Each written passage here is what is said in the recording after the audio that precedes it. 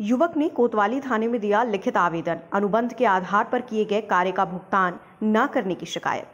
मध्य प्रदेश के विदिशा के कोतवाली थाना पहुंचकर धर्मेंद्र परिहार नाम के युवक ने लिखित आवेदन देते हुए शहर के बड़े अनाज व्यापारी सत्यप्रकाश अग्रवाल के बेटे राहुल अग्रवाल पर गंभीर आरोप लगाए हैं।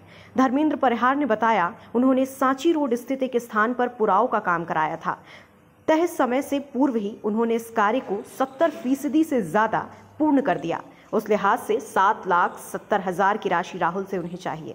शुरू में एक लाख पंद्रह हज़ार ही राहुल दियारा दिए गए। राहुल की ओर से काम भी बंद करा दिया गया। ऐसे में राशि मांगे जाने पर धर्मेंद्र को धमकी दी जा रही थी। इस संबंध में कार्रवाई की मांग को लेकर और अपनी राशि प्राप्त करने को लेकर राहुल ने एसपी के साथ साथ कोतवाली में भी लिखित ज्ञापन दिया।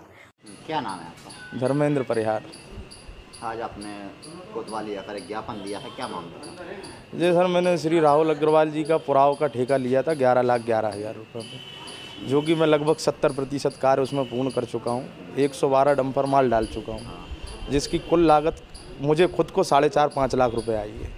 इसके उपरांत उनकी नीयत ख़राब हो गई कि ये तो बहुत जल्दी काम कर देगा और ये ज़्यादा फ़ायदे में काम कर देगा।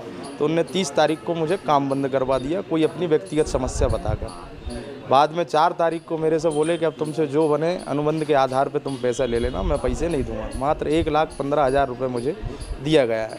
उसके अलावा कोई पैसा नहीं दिया गया और खुली धमकी दे रहे हैं जो बने वो कर लेना।